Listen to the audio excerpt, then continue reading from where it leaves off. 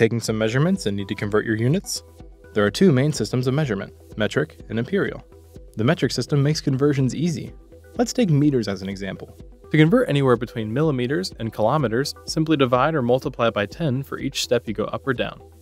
Once you reach megameters or micrometers, multiply or divide by 1000 for each step.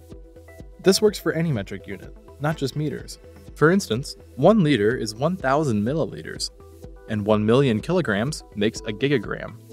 Now for the imperial system, this is where things get dicey, and it only gets worse when converting across systems. For example, to go from meters to feet, you would need to multiply your measurement by 3.208.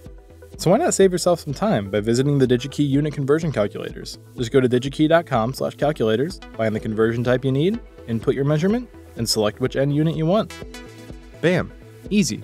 And you didn't have to waste any time memorizing formulas. Want to watch more videos like this? Like and subscribe.